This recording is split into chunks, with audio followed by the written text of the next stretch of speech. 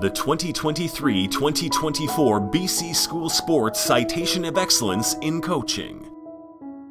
A titan in the world of high school volleyball with more than 30 years of experience, Al Carmichael's dedication to school sport should be rightfully celebrated. Leaving an indelible mark on boys volleyball and the hundreds of student athletes he's mentored along the way, Carmichael is a deserving recipient of the BCSS Citation of Excellence in Coaching. My greatest satisfaction comes from when players start playing a sport and they keep playing a sport and they keep playing a sport after high school not necessarily competitive, but even recreationally, that they discover that this is a great sport for life and they should play it as long as they can. So part of that is ensuring that the experience for, for the student athletes is fun.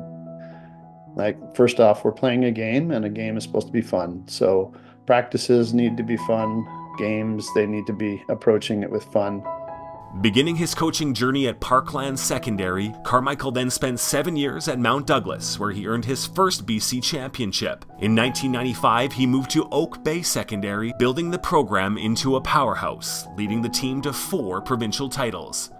He says that his time on the sidelines helped him in the classroom, and vice versa.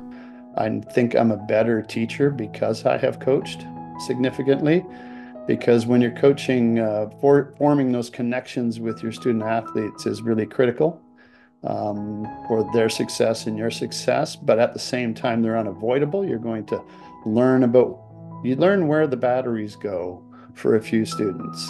And if they end up in your classroom, then you don't have to learn that process about how to motivate them and what's going on in the back of them. Like as a coach, you know more about that student than you would know as just their classroom teacher.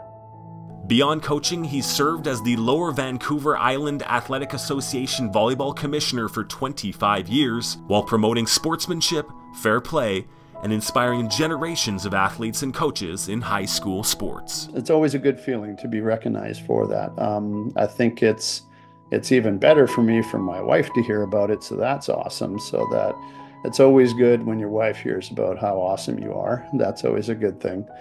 And I think it's just a good recognition of, the, of how much hard work so many coaches, especially teacher coaches, put into school sport every year, every day in the province. Congratulations to the 2022 2023 BC School Sports Citation of Excellence in Coaching recipient, Al Carmichael.